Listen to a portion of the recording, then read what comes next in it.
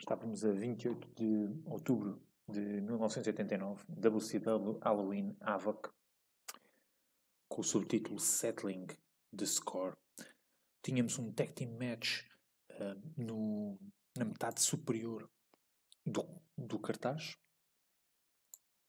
que envolvia uh, os Steiner Brothers e os Doom. Steiner Brothers de Rick e Scott Steiner contra os Doom que não tinham uh, a identificação deles, vinham acompanhados da, da Woman no, como, como valet. E os comentadores basicamente era anunciavam-nos como Doom number one e, no, e Doom number two basicamente. Portanto tínhamos aqui um tag team, um tag team match uh, que uh, assisti uh, por, uh, por considerar os Steiners, os Steiner Brothers, como os candidatos principais aos títulos de tag team da WCW nesta, nesta, nesta altura, em 1989. Eram os. Eram a tag team que para mim estava, estava em melhor forma para poder ir na rota do, do título. Os Doom uh, ainda não, não os tinha visto a combater, uh, ao contrário dos Steiner Brothers, tinham-os visto a última vez a combater pelo NWA World Tag Team Championship dos Fabulous Freebirds no WCW Clash of the Champions 8, a meados de, de setembro. Um combate que os Fabulous Freebirds ganharam, mantiveram o título num combate bastante equilibrado, em que o final foi assim um pouco controverso por causa da Woman, que hum, supostamente tinha ali atrapalhado, condicionado uh, o final do combate e tinha causado mesmo a derrota, uh, fazendo ali, acho que ela tinha feito tipo uma espécie de rasteira ao Scott Steiner. Não deu para perceber porque nem sequer havia filmagens disso. Basicamente foi pela reação do Scott Steiner no final do combate, quando perdeu o combate.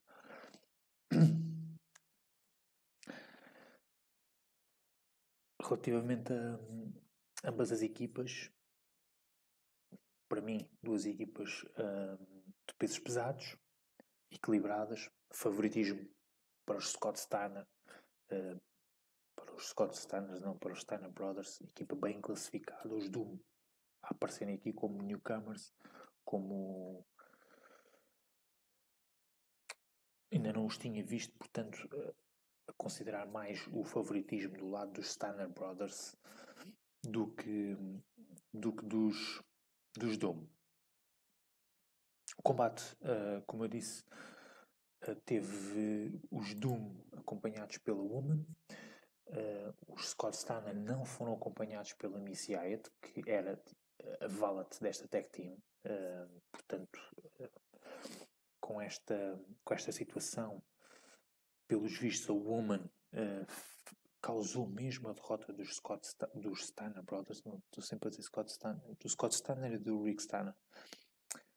A Woman causou mesmo a derrota dos Steiner Brothers e e agora percebe-se o motivo, pelos vistos estava do lado destes Doom que não se sabe quem são. Uh, quer dizer, sabemos quem, sabemos quem são, mas aparecem aqui como mascarados. Uh, era um, era, a equipa acabava por ser composta por Butch Reed e pelo Ron Simons.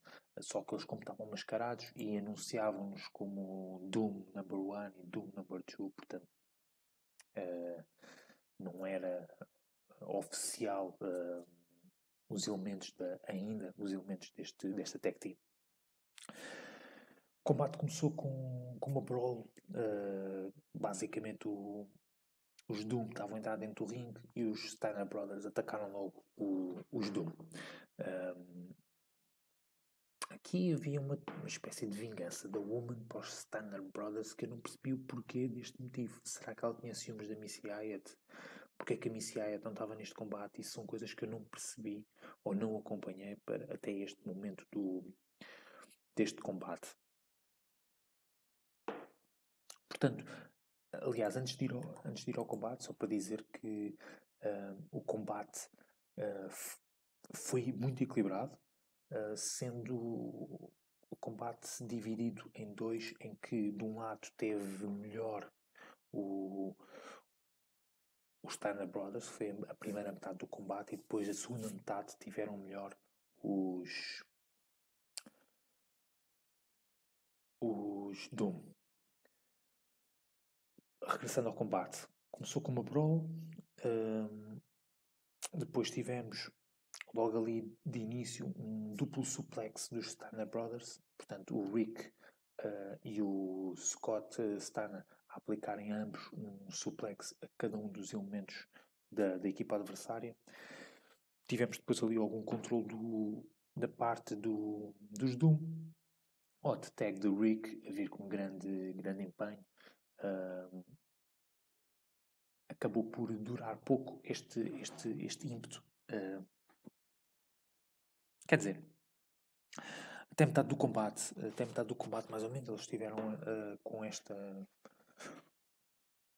com o controle, com vantagem sobre o combate. depois tivemos ali uma viragem quando quando os Doom conseguiram utilizar um pouco de trabalho de equipa, aplicaram um drop do. deixaram cair o, o Rick num drop contra, contra uma das cordas. Um, e depois também houve uma das situações em que conseguiram colocar o Scott no ringside uh, e atacaram uh, e mandaram o, o, Scott contra uma das, das grades uh, de, das proteções de segurança do, do público. Os Doom ainda conseguiram também aplicar um neckbreaker e um power slam, um, deixando ali uh, em grande, grande vantagem os Doom sobre os, os Steiner Brothers. Houve uma situação em que o, os Steiner Brothers fizeram tag, o Scott estava em ring, estava legal e fez a tag com o Rick Steiner, só que o árbitro não viu e não legalizou a tag. Um, discutiu ali com, com, o Rick Steiner e nas costas do árbitro um, o, os Doom aproveitaram essa distração para aplicar um pile driver no, no Scott Steiner. Um, não conseguiram vencer nessa altura, isto deixando com que o Rick Steiner ficasse com raiva uh, para entrar no combate e raiva para acabar com o combate e vencer contra os Doom. Estava, o Rick começou a ficar um, bastante impaciente com, com, com essa situação. Uh, conseguiu finalmente entrar em ringue com uma hot tag em que foi excelente. O, hot, o, o Rick Steiner entrou, entrou muito bem novamente.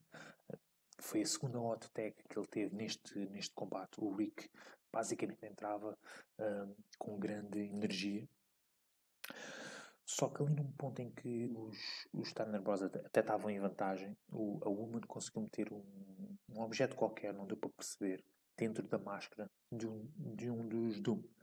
Uh, e esse Doom, number one ou number two, indiferente, uh, aplicou um headbutt no, no Rick Steiner, deixando-o inconsciente e vencendo assim o, o combate. Portanto, os Doom uh, a, a, serem os vencedores uh, deste, deste tag team match.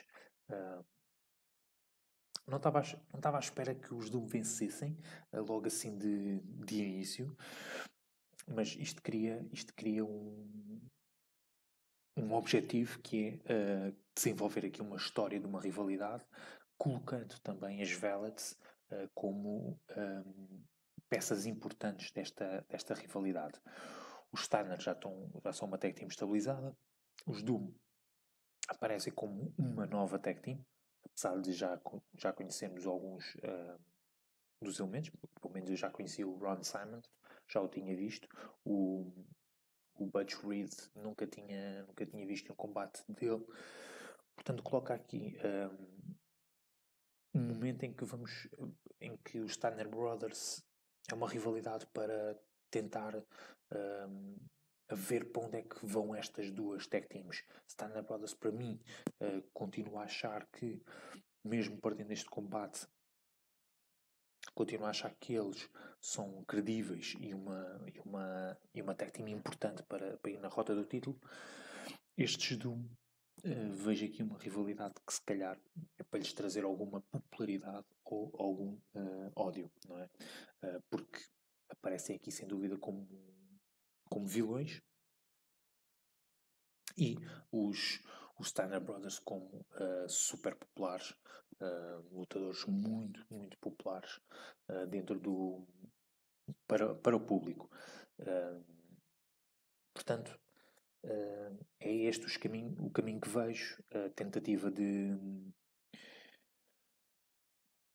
tentativa de aumento de carisma da parte dos Doom e os Steiner Brothers a terem que ir para mim uh, vencer agora os Doom novamente para poderem ter. Uh, novamente, quer dizer, uh, o caminho que eu vejo estar na Brothers é terem que ganhar aos Doom para poderem ir a seguir na rota do, do título Tag Team que estava nas mãos dos Fabulous Freebirds. Portanto, resumindo, Doom vence os Steiner Brothers num Tag Team Match.